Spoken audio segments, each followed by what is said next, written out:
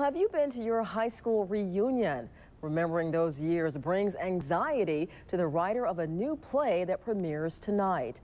The Dobama Late Night Theater in Cleveland Heights is performing a play right now. It's called Angst 84, as in 1984. Now, anyone who graduated 15 or 16 years ago will recognize the clothes and the slang, and some of it reflects how students feel no matter what year they're in school.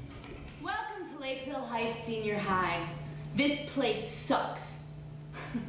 the old red and gold, go Lakeville. It makes me want to puke. Well, the show is on stage starting at 11 p.m. on weekends from tonight through November 11th. I think I went to school with somebody like that.